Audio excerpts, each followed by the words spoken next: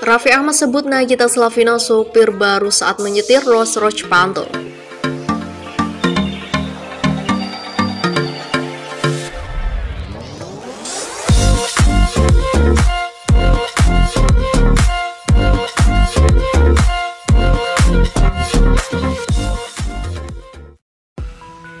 Dikutip dari tribunbatam.id, Raffi Ahmad kembali posting fotonya menggunakan mobil Rolls Royce Phantom. Namun kali ini foto Raffi Ahmad dengan Rolls Royce Phantom tidak sendiri atau bersama Rudy Salim. Raffi Ahmad unggah foto bersama seorang wanita di dalam mobil Rolls Royce Phantom. Terlihat dalam foto yang diunggah ayah Rafathar dan Rayansa, wanita di sampingnya yang menyetir Rolls Royce Phantom. Raffi Ahmad sebut wanita yang di sampingnya itu adalah sopir baru.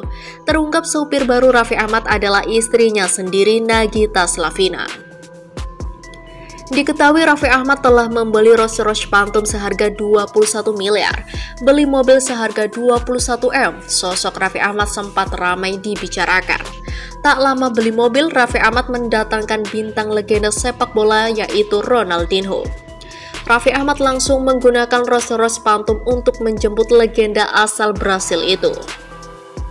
Foto Nagita Slavina membawa mobil Rolls Royce Phantom langsung jadi sorotan warganet. Nagita memang diketahui baru mendapatkan hadiah mobil mewah buatan Inggris dari Raffi Ahmad. Unggahan ayah dua anak ini pun ramai dikomentari warganet. Bahkan Luna Maya ikut membubuhkan like sebagai responnya. Banyak yang menyoroti penampilan wanita yang akrab disapa Gigi itu terlihat cantik. Sebelumnya Raffi Ahmad baru membeli sebuah mobil pabrikan Inggris yang bernilai fantastis.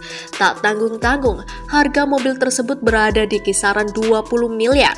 Bahkan Raffi pun rela inden selama 5 bulan demi memberikan istri tercintanya mobil mewah tersebut. Kabar tersebut pun disampaikan oleh teman bisnis Raffi Ahmad Rudi Salim saat memberikan kejutan mobil Rolls Royce Phantom pada hari Minggu 19 Juni 2022.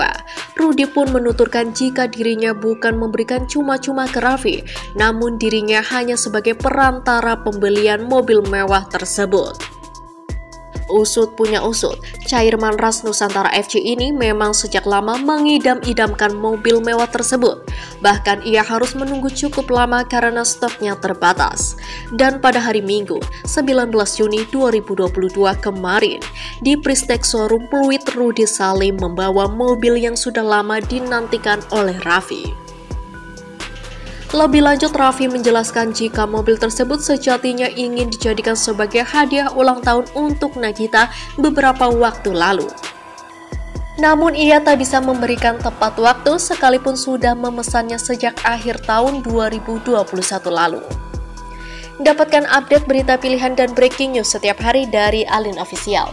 Jangan lupa komen, like, dan subscribe, supaya kalian tak ketinggalan berita artis tanah air Indonesia.